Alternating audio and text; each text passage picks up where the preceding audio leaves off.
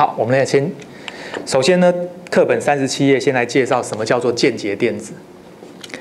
来，这是一颗电原子，可以吗？嗯。正十四，请问你什么原子？系啊。细，哎，还有人记得？怎么查？周期表的什么原子序？OK 吗？OK。所以呢，正十四是系，那外面是不是就有十四颗电子绕着它转？那这一颗电子原子是不是另外一颗原子？各位告诉我，一块固体是不是两颗原子靠得很近就会变固体？你想想看，这两颗原子靠得很近，是不是有一些电子就会重叠？这种重叠的电子呢，我们就说它叫做间接电子，因为重叠的这种电子会形成化学键。啊，为什么这件事情就是大学里面有一门叫做普通化学或普通物理，他们就会在解释这种东西。化学家、物理学家就会讲一堆那种很深奥，我们在这贡献啊听不懂的那种东西，所以你们不要管，你就记得。这个很直觉嘛，两颗原子外面都有电子跑来跑去，那你一靠近之后呢，一定会有些电子会重叠，overlap。一重叠的那个电子叫间接电子。问题来了，细原子有几颗电子？十四颗。这边是不是有十四颗？可是当这两个原子靠近的时候，会重叠的电子肯定没有十四颗。为什么？因为它带正电，它也带正电，这两个本身就会互相排斥。所以原子跟原子核是有一个距离的。所以会重叠到的电子肯定没有十四颗这么多，那到底是几颗？所以科学家经过一些研究呢，就做出了这个结论：几 A 族元素就有几颗间接电子。这句话刚刚看过，还记得吗？好，所以在课本的三十七页，你告诉我，系是几 A 族？四 A。这 OK 吗？OK。我们要不要看一下周期表？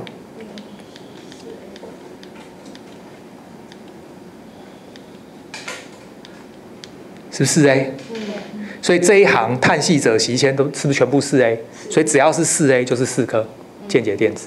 那这一行呢？是三 A，所以硼铝加铟它全部都三颗。那这一行呢？五 A，氮磷砷 Tb 全部都是五颗，这样可以吗？好，考试不会考这个了哦。但是重点是。我现在跟你讲的每一个都是很重要的，因为不重要的我根本不会放进来。所以你如果觉得这东西干嘛告诉我这个，后面你就知道为什么。老师可以举例，考试会考什么？考试会考，譬如说，请问你，请问你，细会不会发光？下列哪一种半导体会发光？细生化镓。那细会发，细不会发光，生化镓会发光，就这样的题目。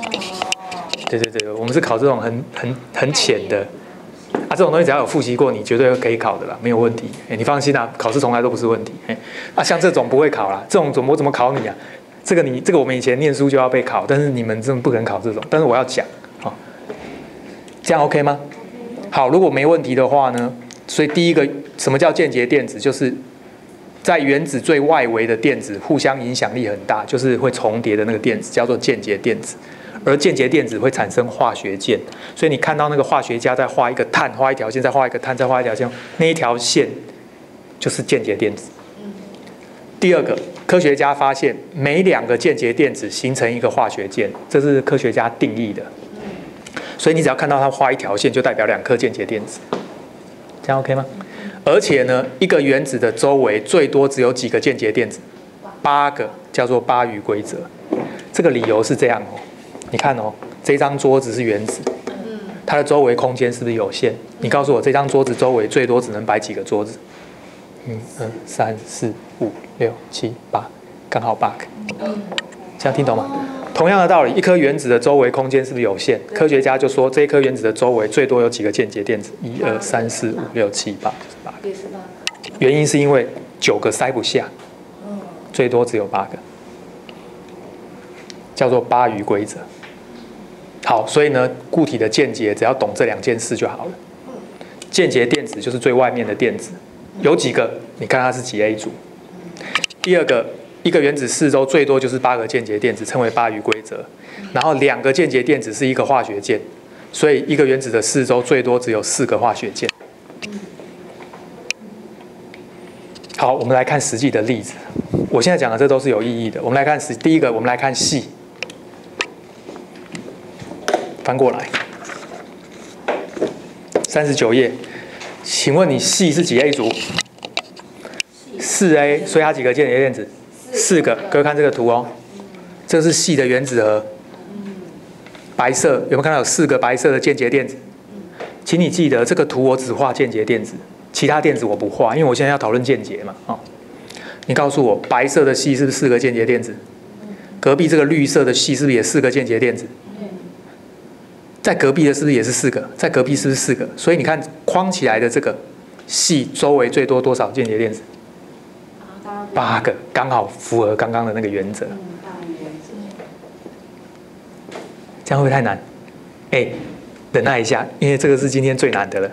这个完了就没有再更难的，我们就开始来讲一些应用的东西，可以吗？好，所以各位这样懂了，那块细晶圆哈。它里面的每一颗电子周围都有八个间接电子，四个是自己的，四个是邻居的。这句话听得懂吗？白色的这个系四个白色的间接电子是它自己的，可是绿色的是它的，是它邻居的。重点就是它周围最多就是八个。那各位刚刚说两个间接电子是不是一个化学键？所以科学家就用右边这个图来代表系。一二三四，刚好四条。好，什么是生化家？我们一直讲生化家嘛。你看哦，加是三 A 组，是不是三个间接电子？砷是五 A 组，是不是五个间接电子？所以你看这个图，加是白色的，是不是三个间接电子？那这个绿，这这五颗绿色的是谁的？是隔壁的邻居生的。重点是，对加来说，它周围总共有几个间接电子？八个。那你告诉我，对砷来说，总总共也是几个？八个，也是八个。五个是自己的，三个是邻居的。它刚好相反，它是三个是自己的，五个是邻居的，加起来多少？八。这件事很重要。为什么？因为以后你就会发现呢，在化学工厂里面、半导体工业里面所用的那些材料，要不就是全部都四 A 组的，譬如说细；要不就是三 A 跟五 A 的。生化家，你想想看，三 A 族是不是所有的通通都三个？五 A 族所有的是不是五个？三加五是多少？八。所以呢，在半导体工业里面呢，只要从三 A 族挑一个，五 A 族挑一个，混起来就会变成一种化合物。但是绝对没有四 A 挑一个，五 A 挑一个混起来的。为什么？因为多一个。因为四加五变九。所以你在在这个晶圆厂里面，你会听到有生化加这种东西。为什么？因为一个三一个五。你会听到有生那个生化铟或者生化铝，或者是这两颗配这一颗，听得懂吗？铝跟砷，铝跟镓都是三颗啊，当然可以配在一起啊，然后再配这个砷是五颗的，或者把这两颗跟这两颗配起来，四颗也可以。要不然就是这一颗，啊，要不然就是这两颗配。有碳化系这种东西，有细则这种东西，都有，绝对没有细化镓或者细化生这种东西。这样原因听懂吗？因为这个是四颗，这个是五颗，你把这两个混在一起就九颗，这种东西不存在。原因是什么？原因是八余规则。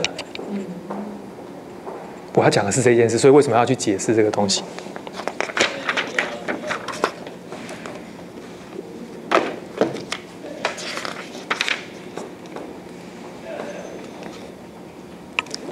可以吗？好像有点难度了哈。好，我们简单再复习一下。简单的来讲，就是这个原子最外围的电子才叫间接电子。哦，啊，间接电子有几颗，就是要去查周期表，看它是几 A 嘛。那在工厂里面呢，你就一定要让那个几 A 配几 A 要配成八就对了。只要是配成八的就配得出来，啊，只要不是八的就配不出来。所以呢，有没有细晶圆？有。有没有细者晶圆？也有。有没有碳化系晶圆？有。有没有生化加晶元？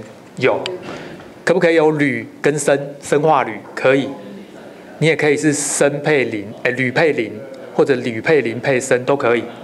重点是绝对没有细配磷或者细配砷这种东西，因为呢，四加五是九，这个是工厂里面的特性。所以最后各位看一下四十页。